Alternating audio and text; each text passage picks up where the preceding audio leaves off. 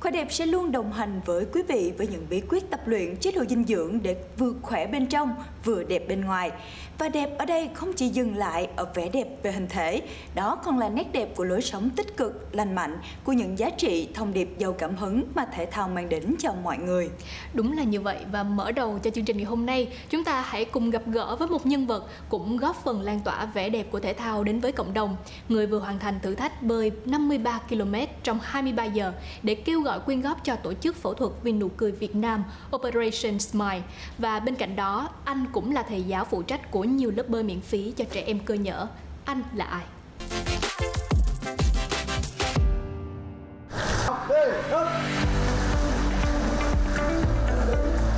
Từng là vận động viên chuyên nghiệp thuộc đội tuyển bơi thành phố Hồ Chí Minh, là cái tên quen thuộc của nhiều giải bơi cự ly dài trong nước lẫn khu vực, người sáng lập của nhóm bơi và những người bạn với các dự án dạy bơi miễn phí cho trẻ em hoàn cảnh khó khăn. Lương Ngọc Duy là cái tên không hề xa lạ với cộng đồng yêu thích bơi lội. Tên là Lương Ngọc Duy, hiện là huấn luyện viên ờ, tự do ở thành phố Hồ Chí Minh. Cái nhóm của mình là bơi và những người bạn gồm những anh em cụ vận viên bơi tuyển quốc gia. Cứ nghe những cái câu chuyện như là đuối nước vậy đó thì thấy rất là đau lòng, cho nên là muốn chung tay một chút nào đó để giảm tỷ lệ đuối nước. Dành thời gian rảnh rỗi dạy cho mấy bạn nhỏ cơ nhở ở địa bàn thành phố Hồ Chí Minh.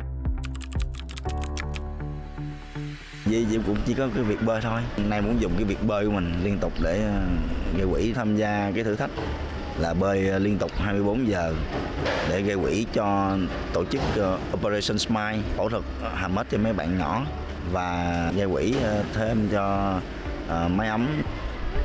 Thì chắc chắn trước đó là mình phải có sự luyện tập à, nghiêm chỉnh phải có chiến thuật à, bơi rõ ràng. Ví dụ như bơi khoảng ba 3 cây 4 cây á, thì mình sẽ dừng lại. Là thứ nhất là mình à, nạp năng lượng như là mình uống cái bột năng lượng. Và thứ hai là sẽ thoa vaseline vào nách cổ và chân để à, nó đỡ ma sát. Tuy nhiên ngay tại thời điểm bơi á, thì là mưa nó lớn. Thì lúc mà mình bơi giữa đêm á, thì nó thứ nhất vừa lạnh nè, mà nó vừa mệt nè, vừa mỏi nè. Cái thời gian mà từ 12 giờ tới 3 giờ sáng là rất là vất vả.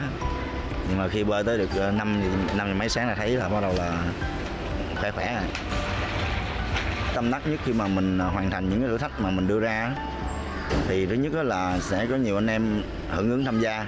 Thì ờ, tổng số tiền mà mạnh thường quân và nhà tài trợ quyên góp được khoảng 230 triệu thì trong đó là 17 ca phẫu thuật khoảng 32 triệu tiền mặt và 10 triệu tiền à, sản phẩm đồ bơi là hỗ trợ cho máy ấm thiên thần quận 9.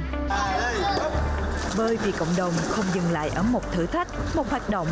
Với anh Lương Ngọc Duy, đó là một niềm tự hào gắn liền với cuộc sống.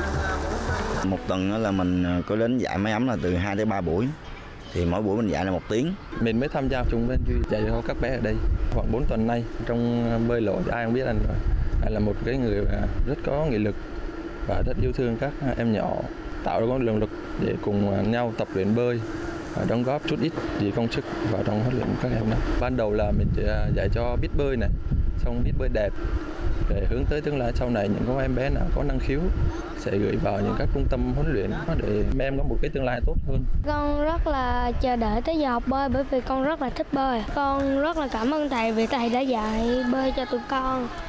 Và con cũng cảm ơn thầy vì thầy đã quan tâm và giúp đỡ cho con ờ, được học bơi. Thầy Duy dạy dễ hiểu. Duy rất mũi tính. Thầy Duy dạy cho tụi con nhiều thứ lắm. Bơi ốt nè, bơi sải nè, bơi ngửa nè, bơi bướm. Rồi học lặn nữa. Con cảm ơn thầy đã dạy cho con bơi con sẽ cố gắng à, học chăm bơi chăm hơn con muốn bơi giỏi giống thầy duy để dạy cho mấy bạn tự con muốn ông bơi giỏi nè. Ờ, à, lên thi đấu nè. Con muốn lớn lên làm cô dạy bơi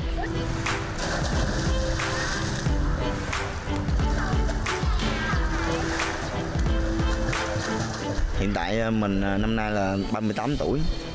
Thì theo cái hoạch định của mình đó là cống hiến ừ, 20 năm nữa vẫn chơi tốt không thành vấn đề. Sẽ gắn bó với bơi vì cộng đồng lâu nhất có thể. Thank